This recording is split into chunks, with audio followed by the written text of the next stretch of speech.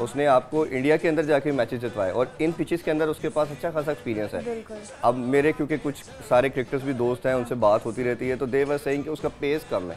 भाई पेस तो कई बॉलर्स का काम है। इंडिया के किस प्लेयर सिर्फ़ बुमराह के अलावा किसी, किसी का, का पेस नहीं है पेस नहीं है। तो हमारे तो सबके उनसे बेहतर है पेस तो एक वो मिस्टेक है हमें अभी दो गेम्स हैं। आज की गेम बड़ी इंपॉर्टेंट है क्रंच गेम है। Exactly. उसको कॉन्फिडेंस देना चाहिए जुनेद को। किसी को भी आप बिठा के मैं नहीं खैर अभी सोचता कि आमिर को बिठाना चाहिए। नो हम्म। डाउट कि वो विकेट नहीं ले सका लेकिन अभी भी वो आपका प्राइम बॉलर है। ठीक है? आपको उसी पर रिलाई करना चाहिए साथ उसका कम्बिनेशन रखना चाहिए जुनेद खान के साथ।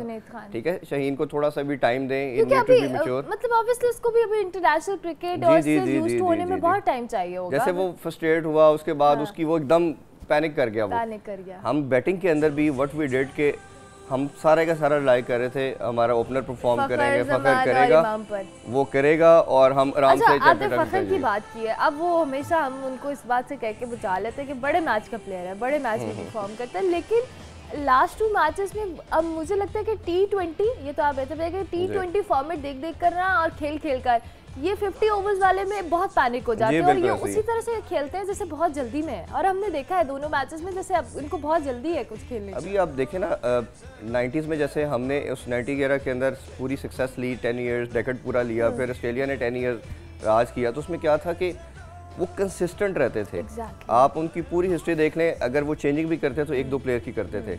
वट वी आर डूइंग के अच्छा वो उस पर सारा एक प्लेयर पे रिलाई कर रहे हैं वो नहीं किया तो पूरी टीम पैनिक हो रही है। अच्छा वो आउट हो गया तो अब क्या करेंगे? बैटिंग ऑर्डर चेंज करना शुरू कर देते हैं। अच्छा सरफराज को खुद समझ नहीं आ रही मैंने खुद किस नंबर पे आना है।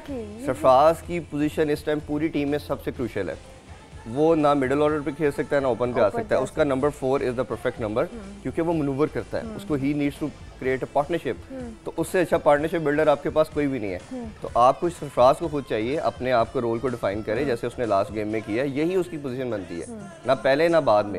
बाद में। आपके पास कुछ अच्छे हिटर हैं सबसे बेहतर मोहम्मद आसफ आ चुके हैं आपके पास। उसको टाइम देना हाँ, चाहिए। उसको भी टाइम चाहिए हाँ। क्योंकि आसिफ की हमने हिट तो देखा वो सही करे लेकिन वो भी पैनिक हो रहे थे। जी ऑब्वियसली अभी नया लड़का है उसको आपको मार्जिन देना चाहिए और वो एंड ओवर्स में आ रहा है। ये with the passage of time player बनते हैं क्योंकि आप एक पीएसएल के बाद टीम में इंडक्ट कर रहे हो। सबसे बड़ा तो सिस्टम का फ्लॉ है ना जी। आप पहले एक प्लेयर्स को कंटिन्यूसली कुछ टाइम खिलाएँ उसको जब वो मेच्योर हो जाए। क्रिकेट तो आप खिलाते ही नहीं ना जी जी डायरेक्ट लीग से उठाते और आप नेशनल टीम में अब वो देखिए ना बड़ा एक मीडिया की वजह से क्या हो गया कि आपने टीवी पे परफॉर्म कर दिया you are in the team वो सबसे बड़ा आपके पास प्राइम चांस बनता है पीएसएल पीएसएल में आप यू डिड परफॉर्म आपने जिताया। देखिए ज़्यादातर लोग पीएसएल के सारे वो जी बिल्कुल ऐसे ही है। सरफराज उसमें आपको पहले शदाब मिला फखर उसमें हसन अली मिला ये सारे आपको उस जगह से मिले। बट द थिंग इज़ कि आपको थोड़ा सा कंसिस्टेंट होना पड़ेगा पेशेंट हम्म। होना पड़ेगा। टीम में हमेशा एक दो प्लेयर्स की चेंजिंग होती है। ये कभी नहीं होती कि आपका एक मैच आ रहे तो तीन चेंज कर दे हम्म। चार चेंज कर दे। अच्छा जो बैठे इनको खिला ले। हाँ। ऐसे नहीं होता। आप मैं फिर ऑस्ट्रेलिया का नाम लूँगा। दस साल उन्होंने जीते तो उसकी रीज़न यही थी कि चेंजिंग करते थे सिर्फ़ एक प्लेयर या दो प्लेयर्स की। ठीक है? और जी जी जी जी पूरी। खैर एक चीज़ मैं फिर कहूँगा कि Mickey Arthur is a great man वो जिन्होंने उनको देखा हुआ काम करते हुए इवन सरफराज से ज़्यादा भी पैशनेट कोई नहीं है क्रिकेट के लिए। तो ये अच्छी पॉजिटिव साइन है कि ये सनसियर हैं ये पैशनेट हैं ये जीत के लिए जाते हैं। ये कैजुअल नहीं लेते। जिस तरह अक्सर पहले पास में कुछ हमने देखा कि 2015 से 17 का जो एरा था तो हम वी वर क्वाइट कैजुअल इसी वजह से हमने दो साल बहुत मार खाई कि लड़के पॉइंट पे आया सोचा कि टीम ही बंद कर दी हाँ जी जी बिल्कुल ऑब्वियसली जितना हमने हर प्लेयर इंडिविजुअल परफॉर्मेंस पे था तो टीम एफर्ट की तरफ़ वो जा ही नहीं जाते जल्द नहीं थे। बट अब एक चीज़ ये है खासतौर पर चैम्पियन ट्रॉफी से पहले भी और बाद में कि the guys are quite gelled लेकिन वो ये है कि उनको फोकस होने की ज़रूरत है। सिर्फ़ एक चीज़ की ज़रूरत है वो फोकस है। इनका फोकस थोड़ा आउट हो जाता है और ये इम्पेशेंट हो जाते हैं क्योंकि ये आप प्रोफेशनल क्रिकेट में ये बेयर ही नहीं कर सकते। आप उसको किसी तरह भी कंप्रोमाइज़ नहीं कर सकते कि आप एक गेम में अच्छा खेले हो फिर आप रिलैक्स कर दें। और आप बॉल टू बॉल चलना पड़ता है आपको।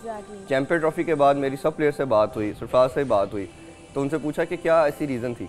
दिस सेट कि हम बॉल टू बॉल खेलते जब पहला मैच इंडिया से हारे तो उसके बाद वी गॉड पैनिक कि क्या हुआ? लेकिन हमने मीटिंग की उसमें कहा कि नहीं वी हैव टू फाइट और हमने बॉल टू बॉल मैच खेलना है। हम्म, हम्म। जब इतने टाइट मार्जिन पे आके खेलोगे आप कि हमें एक एक बॉल को अपने लिए क्रूशल लास्ट चीज़ समझ रहे हो तो फिर आप जीतते हो। आपने कहा ये ओवर ये कह रहा है अगला दूसरा कह रहा है। ये भी लगता है कि अभी हम चूँकि जीते हुए थे इंडिया से हमें पता था हमने उनको चैंपियंस ट्रॉफी में हराया है तो हमारे थोड़ा कॉन्फिडेंस लेवल बिल्कुल ज़्यादा था। आप बिल्कुल ठीक कह रहे हो ये ओवर कॉन्फिडेंट थे. इन्होंने कहा कि चैंपियन ट्रॉफी में हमने हराया हुआ है कॉली नहीं है तो ही चलता। ये हम और हम अपने होम ग्राउंड में एक किस्म हाँ। के क्योंकि यू में खेल रहे हैं तो हमें कंडीशंस का बहुत मालूम है हम इजीली इनको हरा देंगे हाँ। बट वो कॉन्फिडेंस ओवर कॉन्फिडेंस भी आपको पता है कि वो उल्टा हो गया बट अभी भी मैं यही कहूँगा कि स्टिल फील के पाकिस्तान इज़ फेवरेट हमारे पास बहुत अच्छा चांस है इस इस टाइम टूर्नामेंट को जीतने का आज का गेम जीते फाइनल में बांग्लादेश के साथ जीतना कुछ है अभी वैसे इतनी हल्की टीम नहीं है। जैसे हमने अफ़गानिस्तान को जितना लाइट लिया हुआ था अफ़गानिस्तान ने सबको तंग एक करके रखा इंटरेस्टिंग फैक्ट मैं ये बताऊँ ये हिस्ट्री बताती है कि कोई ना कोई टीम एक मैच में वो फ्लॉप होती है। तो वी एक्सपेक्ट दैट थिंग कि वो इंडिया फाइनल में होगी। और पाकिस्तान जब भी वो ऐसी कुछ सिचुएशन में आता है जब ये इनके पास कुछ नहीं रहता तो दे ऑलवेज और वो फिर सारे बड़े मैच के प्लेयर निकले और फिर हाँ इंडिया हाँ के हाँ खिलाफ परफॉर्म करे। आज का मैच जो है बांग्लादेश के साथ होने वाले अगर हम जीतेंगे तो फिर हम फाइनल में इंडिया के मुकाबले होंगे। कोई मैसेज आप देखने वालों को देना चाहेंगे इसमें? कोई नहीं जी अपनी टीम को सपोर्ट करें और एक मैं ये कहता हूँ कि आपको मिडल ऑर्डर के अंदर सरफराज के साथ उसकी जगह हारिस सुहेल की भी बनती है।